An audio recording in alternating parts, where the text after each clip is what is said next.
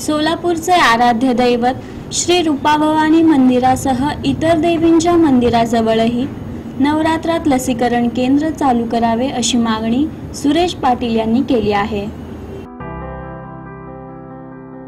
अवघ्या काही दिवसावर येऊन ठेपलेल्या शारदीय नवरात्र महोत्सवानिमित्त शहरातील सर्वच शक्तिपीठांच्या मंदिरामध्ये भक्तांची मांदियाळी असते.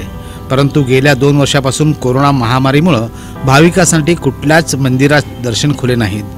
परंतु यंदाच्या वर्षी आघाडी सरकारनं सात ऑक्टोबरपासून सर्वच धार्मिक स्थळे खुली करण्याचा निर्णय घेतला आहे. या पार्श्वभूमीवर विविध मंदिरांमध्ये शारदीय नवरात्र महोत्सव जय्यत तयारी सुरू आहे.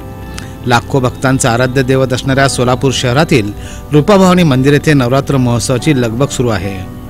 नवरात्र महोत्सव काळात मंदिर परिसरातील साफसफाई स्वच्छता रस्त्यावरील खड्डे त्वरित बुजवावेत तसंच रूपाभवानी मंदिर परिसरात भाविकांना दर्शनासाठी दोन कोरोना लसीकरण डोस देणे बंधनकारक आहे तरच मंदिरात प्रवेश मिळणार आहे. या पार्श्वभूमीवर मंदिर परिसरात पालिका प्रशासनाच्या वतीनं दुसऱ्या डोससाठी लसीकरण केंद्र उभी करावीत तसंच शहरातील विविध देवी मंदिरा परिसरात लसीकरण केंद्र उभी करावीत अशी मागणी भाजपाचे ज्येष्ठ नेते नगरसेवक सुरेश पाटील यांनी केली आहे.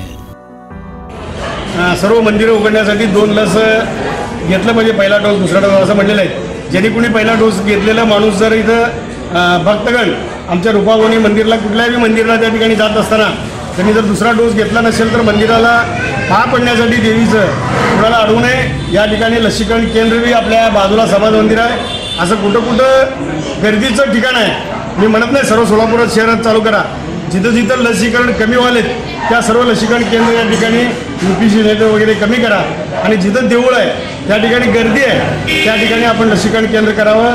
या पद्धतीने आयुक्त साहेबांना मगाशी बोललेलं आहे.